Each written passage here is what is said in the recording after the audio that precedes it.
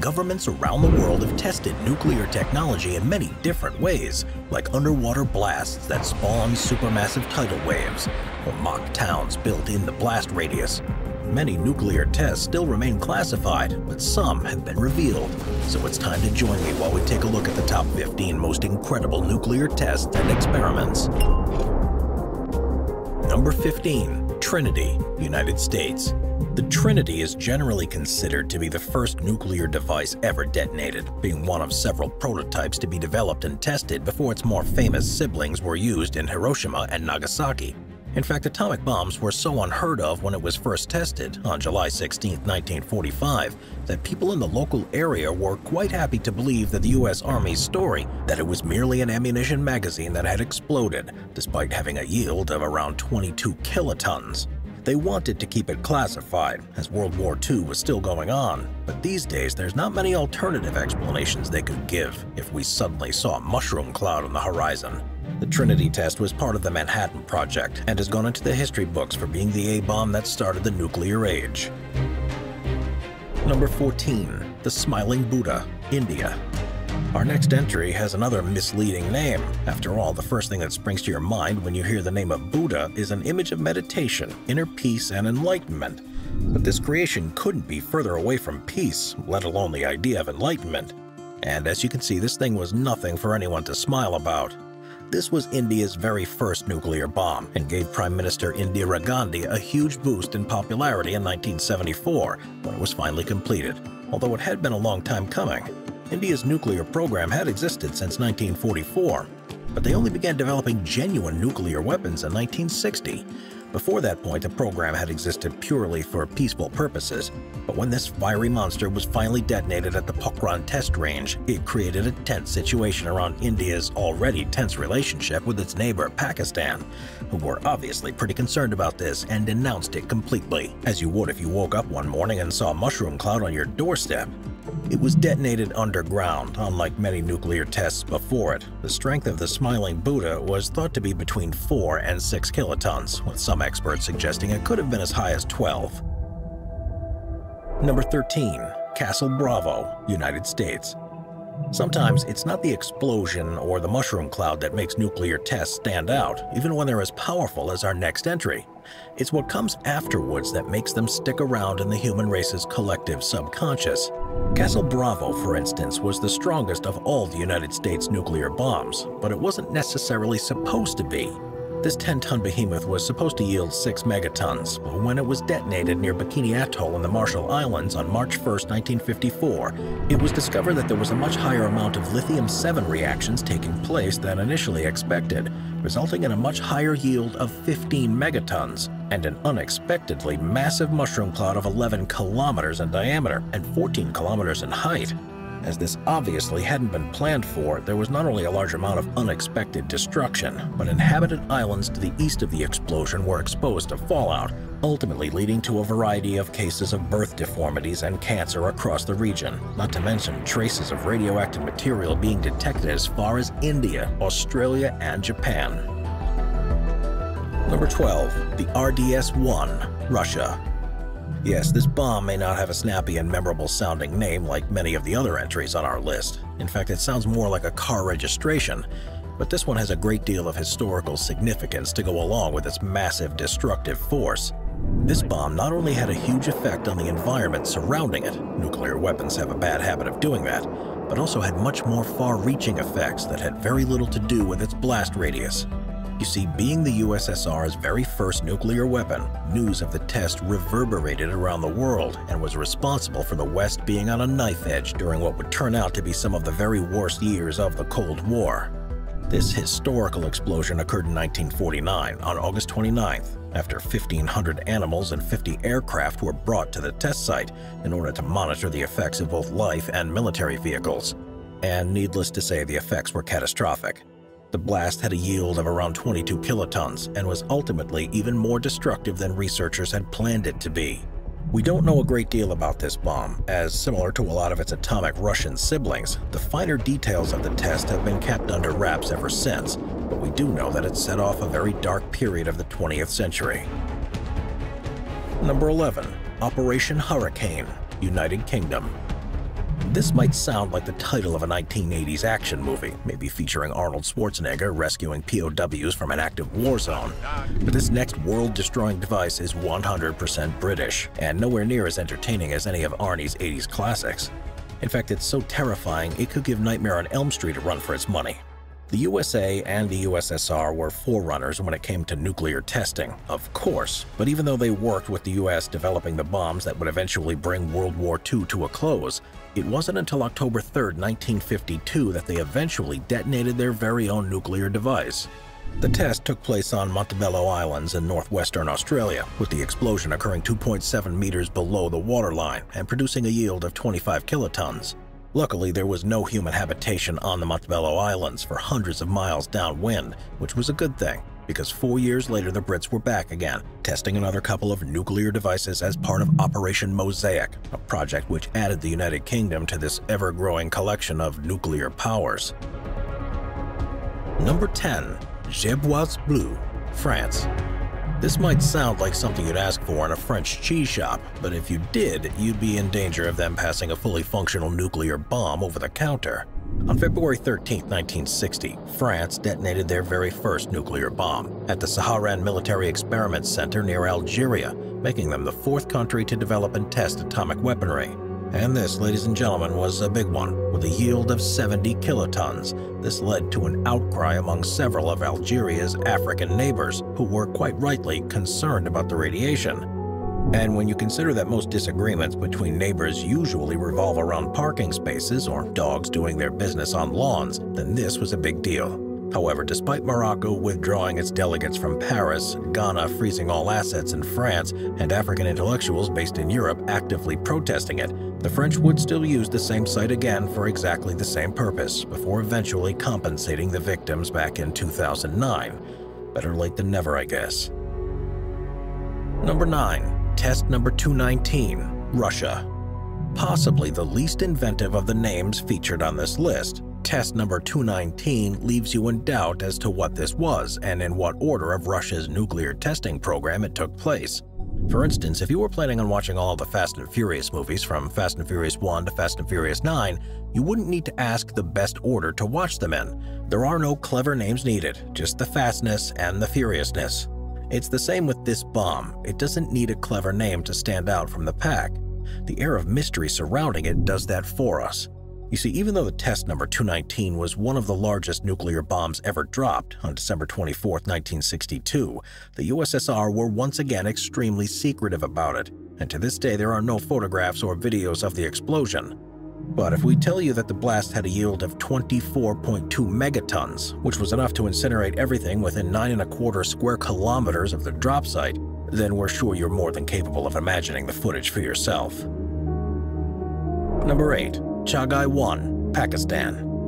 There are many events worth celebrating in life birthdays, anniversaries, religious festivals, Halloween, public holidays, but the detonation of a nuclear bomb usually isn't one of them. Nevertheless, Pakistan as a country is still incredibly proud of Chagai 1, and various monuments have even been erected to commemorate the legacy of this weapon of mass destruction.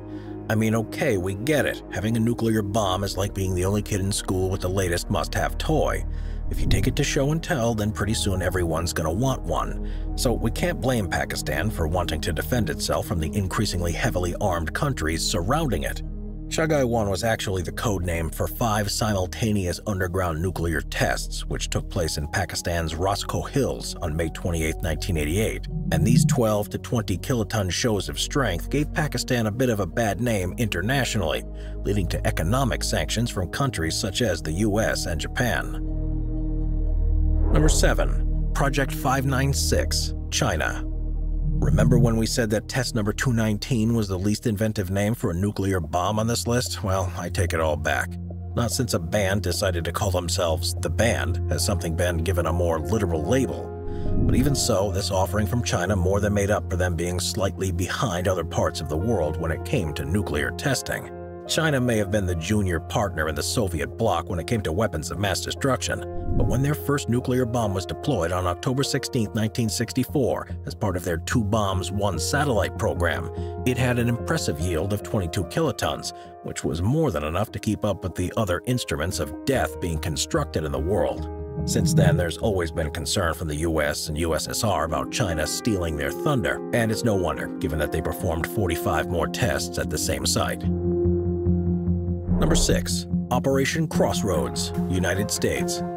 If you did find yourself at a crossroads, with one way leading to nuclear disarmament and the other leading to the complete and utter destruction of all life on Earth, then you'd hope you go for the former option rather than the latter. But this was many years before the Cold War, when nuclear bombs were still seen to be very much the next big thing when it came to ending wars in a matter of seconds.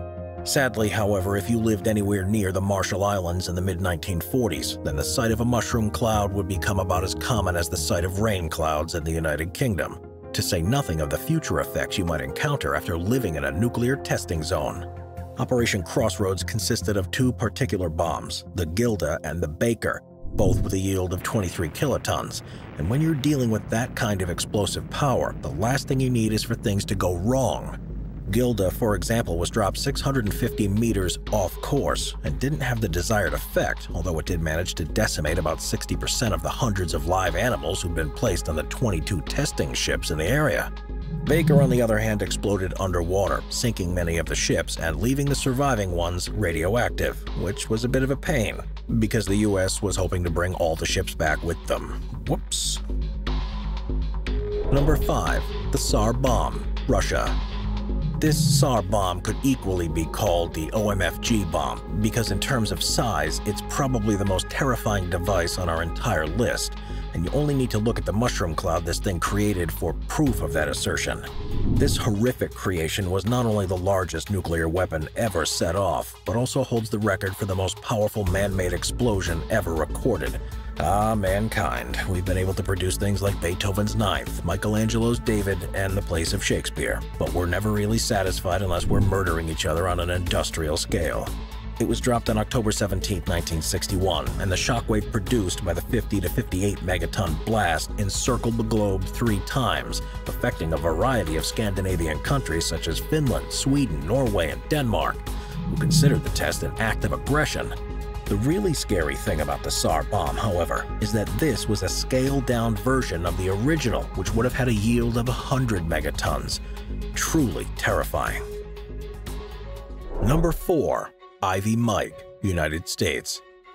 If you're wondering why we've suddenly included boxer Mike Tyson on a list of nuclear tests, then you might want to clean out your ears and eyes and rewind the video slightly.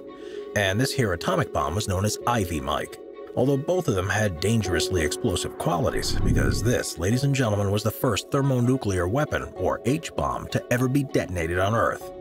Once again, this was detonated in the Marshall Islands on November 1, 1952, and produced a yield of 10.4 megatons, which led to many of the surrounding islands being hit with debris and contaminated with radiation. Mind you, unlike many of the bombs on our list whose purpose was only to ever destroy, Ivy Mike was genuinely responsible for a huge step forward in science, as the debris from the blast was used to discover two entirely new elements, Einsteinium and Fermium, so at least something good came out of one of these immense blasts. Number 3. 2017 Nuclear Test, North Korea. Those of us who remember the drama surrounding North Korea's 2017 nuclear test, and let's be honest, how the hell could you forget it, would probably have a vivid recollection of the leaders of two nuclear powers, President Donald Trump and Kim Jong-un, basically having a game of chicken with each other while God knows how many lives hung in the balance. This standoff was pretty terrifying in itself, but the nuclear test which kicked it all off wasn't exactly a tiny firework being set off in the park. As ever, North Korea have been characteristically secretive about the test, but we do know that a 6.3 magnitude earthquake was detected by South Korea on September 3, 2017, near an area where North Korea had detonated nuclear weapons in the past, and the blast yield was likely somewhere between 50 to 60 kilotons. Luckily, the dust eventually settled and these two world leaders decided to kiss and make up. Yet, sorry to leave you with that image. Number 2. Operation Heart Attack, United States. Let's be honest, all of the bombs on our list could be described with the name heart attack, as that would be the reaction of most of us would expect to suffer if we ever saw a mushroom cloud on the horizon. It could equally have been called Operation Terrified Scream or Operation Lose Control of Your Bodily Functions, But either way, this next entry on our list deserves the title as much, if not more, than any of the tests we've mentioned so far. Operation Heart Attack consisted of 35 different nuclear explosions between April and August 1958, as the arms race between the United States and the USSR was well and truly underway by this point. But perhaps the most infamous of these was the Heart Attack Umbrella, an underwater explosion which was detonated in the Marshall Islands. So yes, if you're planning to vacation to the Marshall Islands, then maybe you should rethink those plans. The spray dome reached a height of over 1,500 meters, with its base surge coming in at 3,000 meters downwards and 1,800 meters sideways in all directions, and severely damaging one of the Navy's ships used in the bomb's testing, which armed the USA with the knowledge that underwater blasts created less fallout, while still maintaining the ability to disable vital equipment. Number 1. Operation Desert Rock, United States when it comes to nuclear testing, there's a history of local people being completely disregarded when it comes to the worrying after effects, and Operation Desert Rock is probably the most controversial test of all in this regard. For once, these tests were not conducted on the Marshall Islands, but at the Nevada testing grounds between 1951 and 1957.